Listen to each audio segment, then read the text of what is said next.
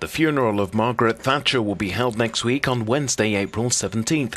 It will take place at London St Paul's Cathedral following a procession from Westminster. There have been some calls for Lady Thatcher to be given a state funeral, but Downing Street says she'll have a ceremony with full military honours, which is one rung down from a state funeral. The details were agreed at a so-called coordination meeting between the Thatcher family and Buckingham Palace this morning, as the Queen's consent was required. Britain's longest serving and first and only female Prime Minister died on Monday after suffering a stroke while staying at the Ritz Hotel in London. She was 87.